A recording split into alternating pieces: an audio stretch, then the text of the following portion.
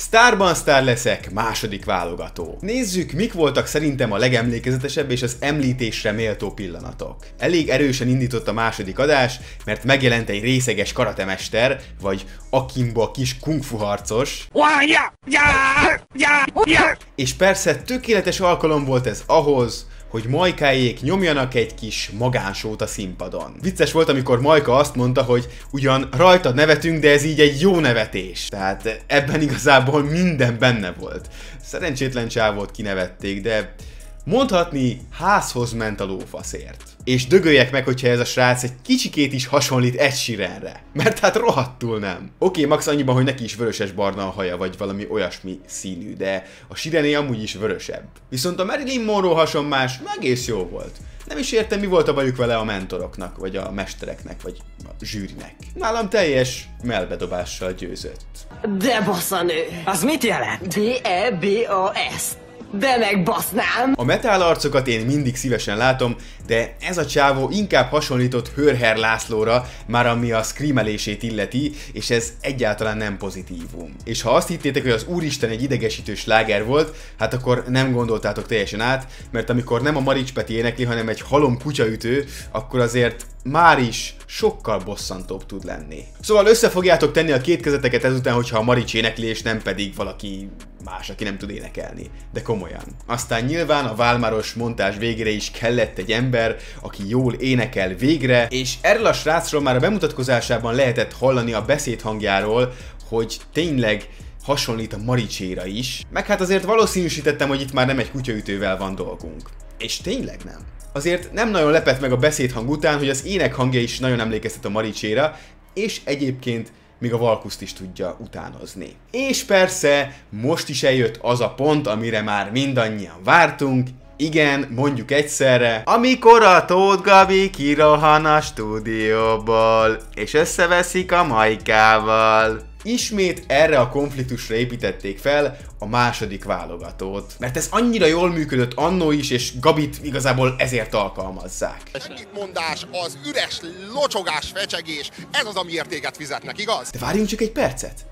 Mi az ördög volt az a lábfétises jelenet, amikor a köllőbabet megérintette a, a lábfejével a, a majkát? Jézusom, hát rendesen megrezzentem. Rendes megijedtem, tényleg.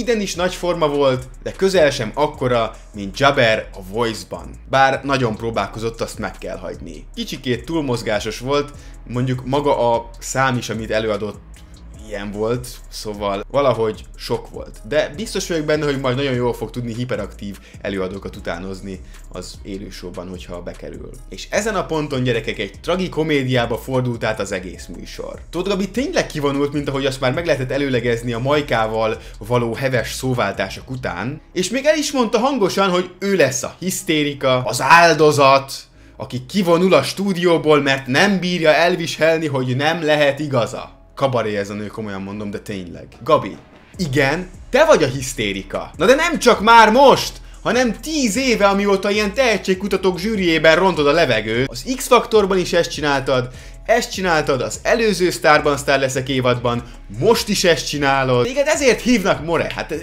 egyszerűen hihetetlen. Ja és persze az egész kis műbalhé konfliktus vagy bármi után Majkának kellett engednie, mert hát így a fair. Úristen. Fú gyerekek, de hogyha ez lett volna amúgy az adás mélypontja. De nem ez volt, nem ez volt.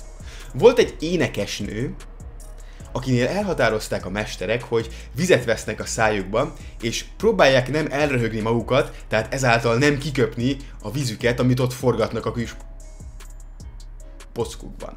Nem tudom ez kinek volt vicces, de nekem rohadtul nem volt az. Vagy nem tudom, ez, ez egyáltalán vicces lehet-e bármikor, lehet, hogy csinálok majd egy olyan reakció videót, hogy én is beveszek majd vizet a számba, és ilyen röhögős, hogy kiköpöm-e vajon a vizet. Ez, jaj, jaj Istenem. De tudom, biztos én vagyok az, akinek nincs humorérzéke. Na de bakker nem 5 percen keresztül csináltak ezt, hanem egy fél órás montást csináltak ebből. Pedig hát elsőre sem volt vicces, nekem legalábbis. De oké, okay, én készséggel elhiszem, hogy minden 10 éves tiktoker majd ezt fogja mixelni, meg ezen fog röhögni, meg mutogatja a suliban majd az osztálytársaknak, hogy ez milyen vicces volt.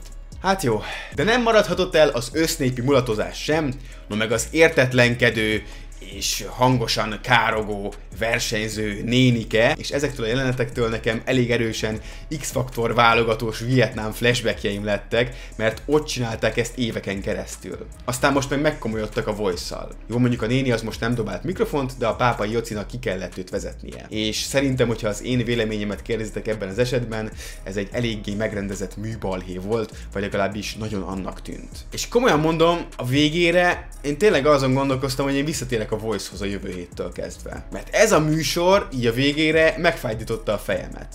De viccen kívül. Ja, de ne felejtsük el, hogy a második válogatót is, mint általában a legtöbb válogatót, mindig egy nagy énekléssel kell zárni, amikor egy raktárosból lett srác leénekli a közönség, meg a mesterek, meg a tévénézők, meg mindenkinek a fejét. És persze, most sem volt ez másképp. És ennyi is volt a Starban Star leszek második válogatója, de kíváncsi lennék arra is, hogy nektek hogy tetszett, úgyhogy fejtsétek ki a véleményeteket a kommentek között. Ha pedig tetszett a videó, akkor mindenképpen csapass egy lájkot, és iratkozz fel, hogyha nem szeretnél lemaradni az elkövetkezendő tartalmakról sem. Instán, Facen, Twitteren, TikTokon, mindenhol tudtok követni, a linkek még mindig ott vannak a leírásban, én pedig köszönöm szépen a figyelmet, hamarosan újra találkozunk, és ezt még mindig nem fenyegetésből mondtam, hisz tudjátok jól. Sziasztok! Legyen a téma az utóbbi tetszett, iratkozz fel, a csengőt fejeld meg